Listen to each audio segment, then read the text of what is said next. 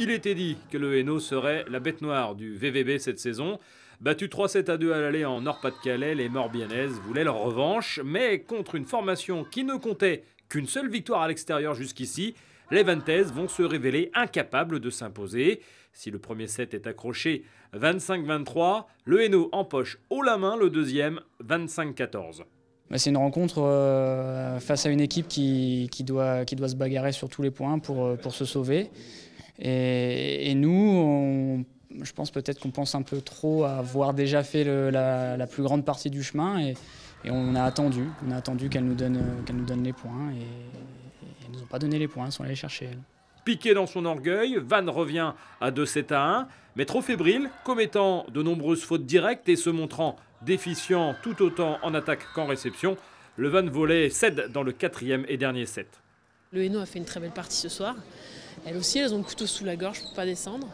Et eh ben, elles sont dans une mission commando. Je pense que nous, maintenant, il faut vraiment qu'on se mette dans une mission commando aussi. Il nous reste cinq matchs pour euh, valider euh, notre huitième place et en tout cas euh, notre, notre non-relégation. Allons-y. Capable du meilleur, comme ses victoires inattendues face à Nantes fin novembre ou encore face au Canet début février.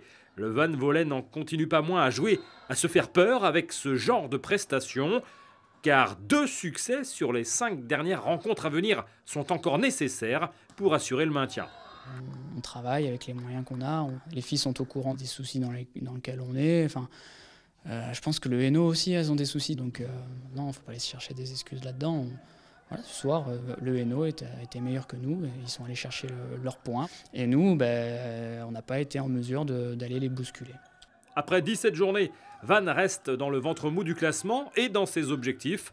Une performance déjà remarquable pour un effectif restreint à 6 joueuses valides, sans parler de ses difficultés financières rencontrées par le club. Une situation qui laisse planer le doute quant à une probable sanction administrative en fin de saison si rien ne change.